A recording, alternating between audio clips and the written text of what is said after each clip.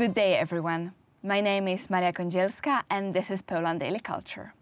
Today we are going to talk about the most expensive Polish film production after City 44, the movie called The Legions. It is the first fiction film about Polish legions formed during World War I. We have in studio with us Maciej Pawlicki. Hello. Thank you for coming. My pleasure. Thank you for inviting me. But it is hard to talk about a film without watching it, so let's see a trailer. Фамилия? Król. Место рождения? Polska. Нет такого места. I've been sleepless at night. A kim wy jesteście? 'cause I don't Myślałem, że nigdy nie podejdziesz. To co, źle zrobiłam? I've been waiting Garstka dzieciaków naprzeciwko trzech imperiów. Trzeba trochę naprawić ten świat. Zostaniesz moją żoną? Kochasz go? Po co tu go.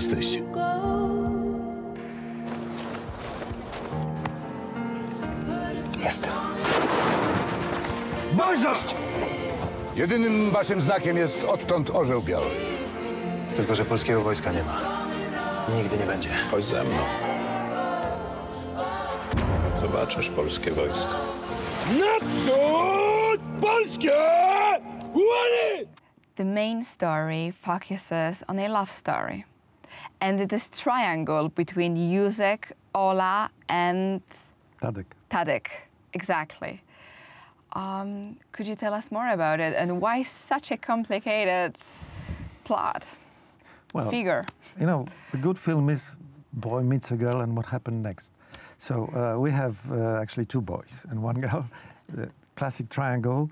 I can't tell you too much because uh, I don't want to spoil the the, the story. But uh, we had uh, we had this. Um, idea to show that they come they are coming from different uh, groups different places ola uh, alexandra is is um, uh, a girl who is in the uh, intelligence service of the first brigade because it's it is an, an unknown story but there were many women actually i think more than 40 in the intelligence of uh, first brigade uh, there were 40 young uh, women and this story is absolutely unknown Absolutely, for um, the for the yes. uh, audience. And what role was of Polish? Well, they were. They women? were. Uh, Aleksandra Szczerbińska was the head of it, and then future wife of Piłsudski, and they were simply gathering information, and sometimes they were doing certain actions, also fighting, uh, until I think I think December. When December, Piłsudski ordered to withdraw women from from the fights, um, but in the beginning they they did, and it was an extremely important role, uh, and they were also coming from the. Liga Kobiet Pogotowia Wojennego. It was a women's like, league of well, emergency emergency in Polish army, Yes, something and, like and- this. And they were so they were not only providing uh, well what we could imagine. They were nurses. They were providing uh, um, cooking. Uh, and and is, uh, Everyday help, yeah, and aid, preparing yes. uniform, like all the logistics. We, we can imagine that, but they were also fighting and dying. So that that in is- the battle, they were fighting in the battle. Yes, yes. Oh, that's uh, that's extremely unknown. So- so this is- there is a pe- like women female scratch in the history of Well, Polish legions, Actually, which actually is scratch because by percentage it was not a big percentage. Yeah.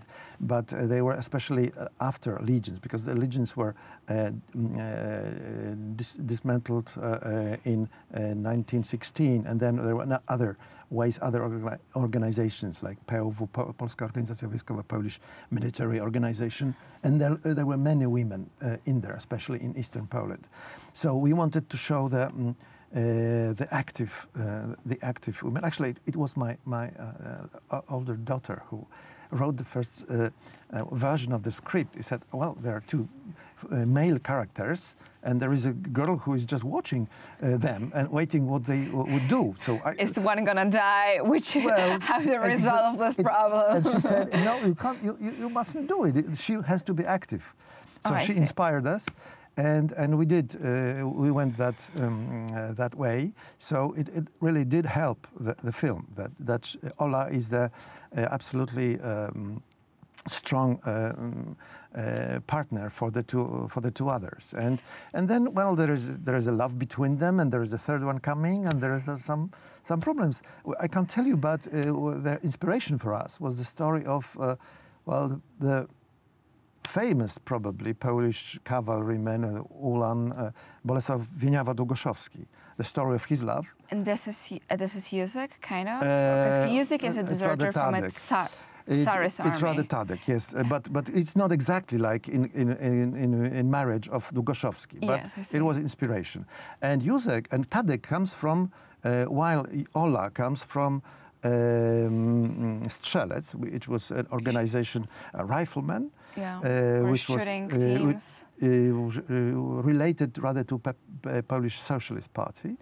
And Tadek comes from uh, drużyny strzeleckie rifle squads. They, Yeah. it sounds similar, but they were rivals, and they were they were so uh, he also was more, um, I would say, conservative. like a gentry, like a good good uh, um, family, good education, like a uh, wealthier. So uh, and they ha- they are coming and. mm, Uh, uh, and it was related to national democracy. This, I this see. group. Uh, and then uh, and then Józek, who is Mr. Nobody, because a he's a, deserter from a Tsarist army yes. who barely speak Polish and No, he does, he doesn't write he cannot write He cannot write. but Sebastian Fabijański plays him Yes. so at least he's very handsome Well, Bartek is not less handsome, I would say. Bartek means uh, Tadek, um, Bartek Gelner. Uh, but we wanted to uh, bring a character that would be, to some extent, uh, that uh, I'm, I'm not saying that um, uh, our audience cannot write, but I'm saying that there many of them would not share the feelings of Ola, of Tadek, who were praying for this war, who wanted this war, who were waiting for this occasion. But Józek is the one who is, doesn't want to fight for anyone. Uh, he doesn't understand why should he uh, risk his life for anything, for, for Russia, for, for uh, Polish officers, for whoever. And, and so he is like, uh, uh, uh, uh, he's concentrated on his own personal goals and he thinks he doesn't need anybody, need anybody to, to, to fulfill his, his goals, to achieve so his how actually he gets from the Tsarist army to the Polish legions I can't tell you, you will see it very shortly. I'm, I'm very interested Uh, well, he, run, he runs away from the, from the uh, Russian army and he somehow happens, uh, finds, finds himself between the legionnaires, not understanding them, not understanding their, their fights, their tensions, their discussions, uh, and he just wanted, wants to use them uh, for his own goal. But then the reality comes. because they were Russian citizens uh, in the Polish legions army or in the Polish Well, legions. all the, the, well, uh, Poland was uh, didn't didn't Divided, exist. It was divided into Russia, Germany, and Austria. Uh, so, in the Russian army, there were hundreds of thousands of Poles. They were incorporated in the army by force. They they couldn't refuse, and Józek was one of them. They were simply and suddenly they they they were given an alternative and a Yes, chance yes, to but- but- fight, but on the Polish side. Yes, many many did, and many did not. And uh, the other huge group, hundreds of thousands of Poles, were incorporated incorporated into Austrian or German armies. This was a very tragic story because sometimes they were forced to to fight uh, one against the others, and they were so Poles Poles in different unimor, uniforms were fighting, were killing themselves for the oppressors, for the invaders, uh, and it is very uh, also untold story. We, we wish we could go in this direction, but the movie is uh, already two hours or more long. But this is an extremely in- interesting mm, story about these who were uh, those Poles who were incorporated into mm, Russian or uh, the Austrian or German armies. So Józek is one of them. He runs away and he finds himself in the Polish army. So this is the turning point. And could you share with us at least one scene of a plot or something which is, um, for example, you're a scene which you are very proud yourself of? Well, I am proud of many scenes, although uh, some there had to we had to do some mm, sometimes some corrections due to the circumstances. But on the other hand, certain scenes were more beautiful than we expected. So, uh, Such as? uh, well, for instance, uh, uh, certain uh, battle scenes, like in Kostiuchnówka, because there we have another huge battle.